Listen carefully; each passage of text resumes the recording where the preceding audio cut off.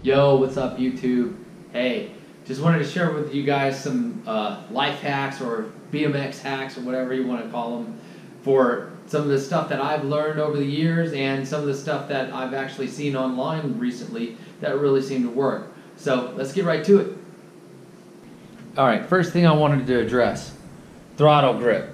Everybody hates it. Um, best thing that I have learned to do is I will put on my grips with WD-40.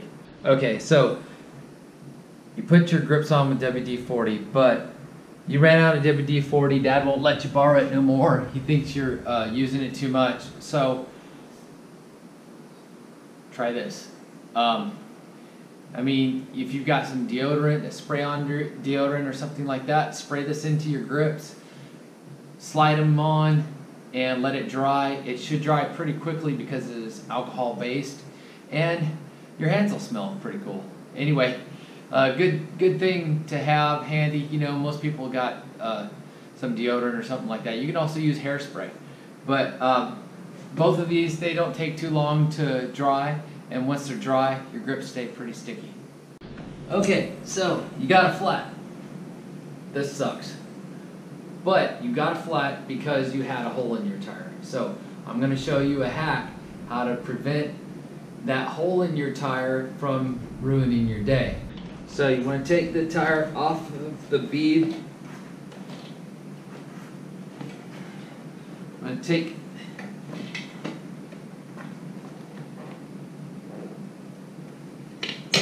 you want to take the tube out.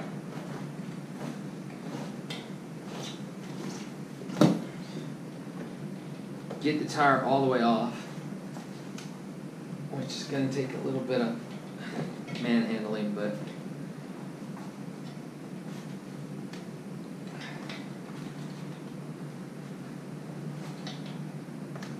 there we go. All right, so you got your tire off, okay? Now you want to look on the inside and find out where that hole is at, especially if that's what's causing where your tire is at. Also, you know, if you've got a thorn in your in your tire or something like this, this is a good way just to check it. You might actually want to use gloves while doing this in case it's something sharp. But uh, you want to check it. Say for instance you got a hole and it's either on the sidewall or it's on the top or something like this. You can use this, a dollar. See how sturdy a dollar is? Believe it or not, dollars are made of denim.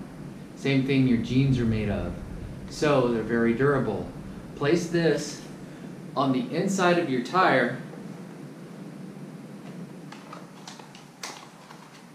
Say you got a hole right here. Place it on the inside of your tire, right where the hole is at. Make sure it stays in there. You might even want to tape it in there. But usually the pressure of the tube will keep it in there. Then just put your new tube back in there. Make sure you put a little bit of air in it first, because that way it'll keep its shape.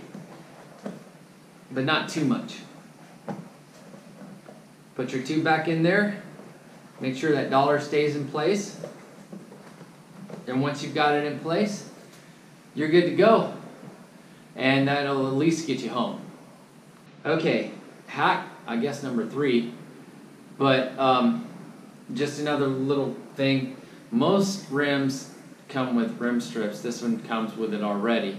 But if you don't have a rim strip and yours got broken or something like that, they're not easy to find, but most everybody's got some tape somewhere. So let me show you real quick. Okay, so you got your electrical tape or duct tape. You can use either or. Um, you want to take and start start from where the hole is at okay? And leave that hole open, all right? So, you start from there. Okay, so you, you've started from where the hole is at, and then you want to keep going around and pushing it in as you go. Making sure that you're covering those holes where your spokes go. So you don't want your spokes, what's causing you to get a flat is your tire is expanding into those holes and then it gets pinched and causes you to get a flat. So you want to make sure you get all that covered and you may even want to do two layers.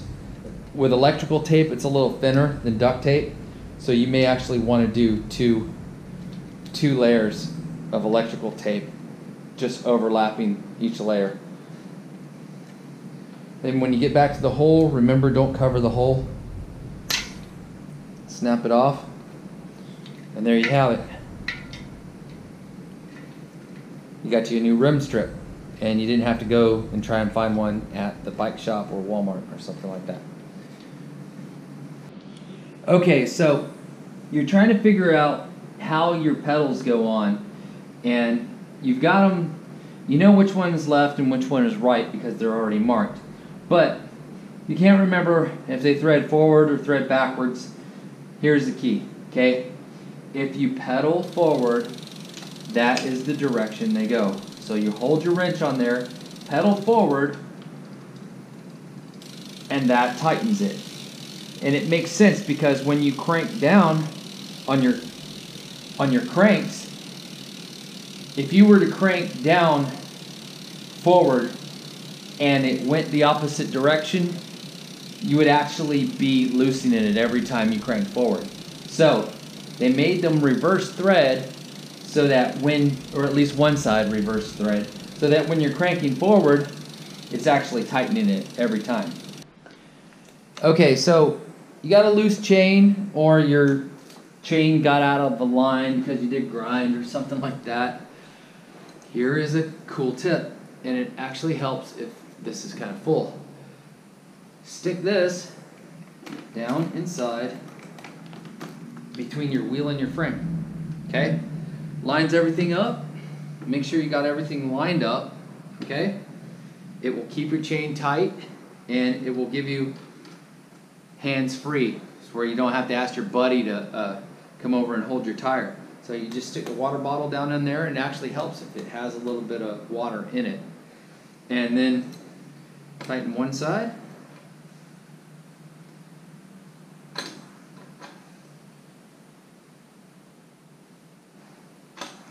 and then, of course, tighten the other.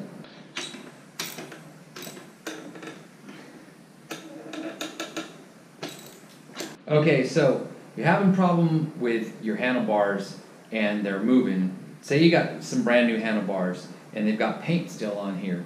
What you want to do is you want to take some sandpaper. You want to you want to scuff all that paint off. This one already has it off of there, which is good, and it has some knurling on the handlebars, so that'll help it stick.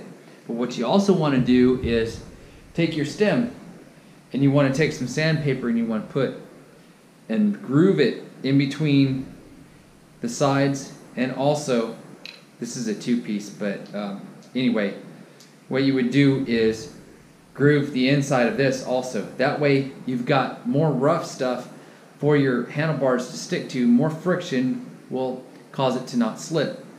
So that's what you want to do, and then put it back together, tighten it back down, but make sure when you tighten it down that you go, show you here real quick. So you've got your stem top, right? You want to go tighten, tighten, tighten, tighten until it all gets tightened down evenly, okay? You don't want it tighten too much at the top and too much at the bottom. That will cause your, uh, cause your stem to move. So, okay, so I'd like to thank um, my online community that's been helping me out with. I've been throwing some questions out there, what kind of life hacks you guys got.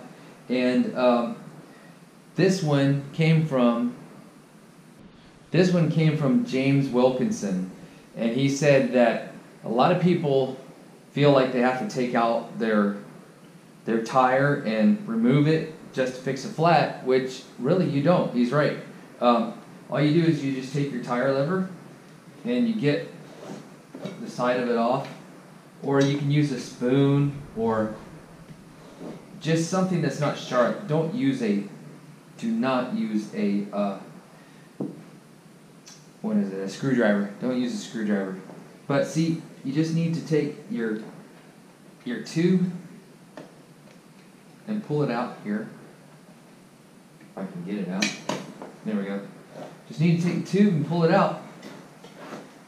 And of course, you know, if you got a flat somewhere, take your patch kit if you got a patch kit with you, or if you don't have a patch kit, or say you got a patch kit but all you have is you you ran out of patches.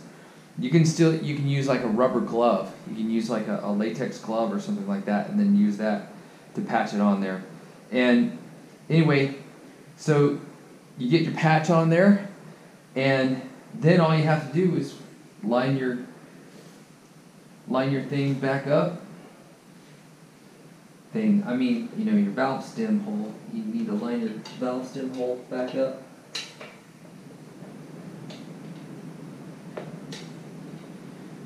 And then put the rest of the tire in there.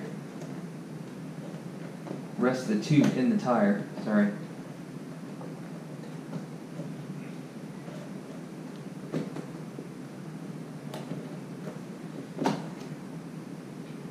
Okay, so once you got that done, you line up your tire, get it all straight in there, then just take your pump and air it back up. Anyway, those are my life hacks. I hope you like this. Uh, hit me up in the comments section down below. Let me know what kind of life hacks you guys got.